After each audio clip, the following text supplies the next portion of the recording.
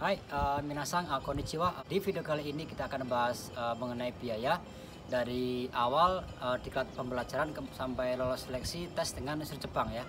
Nah, kira-kira berapa untuk biaya di lembaga kami? Sebelum video ini dimulai, jangan lupa like, komen, dan di subscribe, uh, di share ke teman-teman jika menurut kalian video tentang pembelajaran Jepang bermanfaat ya.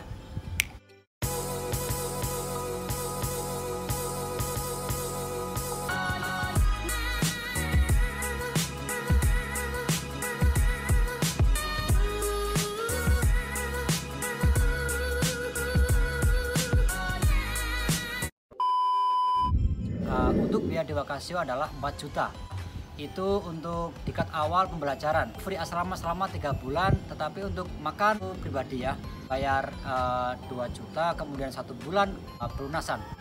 Job yang tersedia sekarang adalah job konstruksi konstruksi meliputi pemasangan papan cor perakatan besi uh, kemudian job pertanian itu khusus untuk cowok. Adapun job perhotelan itu khusus untuk cewek usia maksimal 29 tahun ya. Adapun job Tokute Gino, syaratnya memiliki N4 atau CFT Basic A2.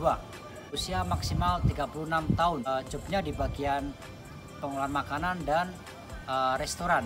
Untuk biaya global untuk magang adalah sampai itu sudah termasuk biaya tingkat awal ya. Biaya tersebut dikeluarkan setelah nanti si peserta lolos seleksi dengan Sri Jepang ya untuk pembuatan paspor, untuk MCU kemudian untuk biaya diklat setelah dinyatakan lolos yaitu diklat pra pemberangkatan nanti juga ada praktek. Itu pun nanti dapat makan selama empat bulan yang menyediakan lembaga.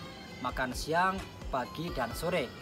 Kemudian untuk sebelum berangkat ke ada uang KIP sebesar 3 juta. Nanti dikembalikan kepada peserta untuk eh, apa namanya entah beli koper atau persiapan sebelum sepatu atau keberangkatan ke Jepang ya itu untuk biaya magang. Global adalah itu sudah termasuk biaya 4 juta di yang untuk tiket awal pembelajaran ya.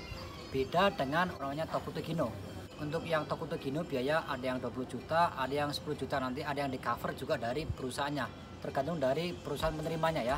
Untuk biaya program Tokuto Gino hai Ya, uh, sekian video yang dapat saya sampaikan. Semoga bermanfaat. Silakan bagi teman-teman atau adik-adik yang ingin makan Jepang bisa ke lembaga kami.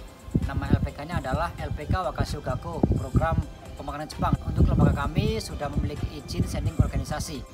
Sekian dari saya. Jangan lupa like, komen, dan subscribe, share ke teman-teman. Terima kasih.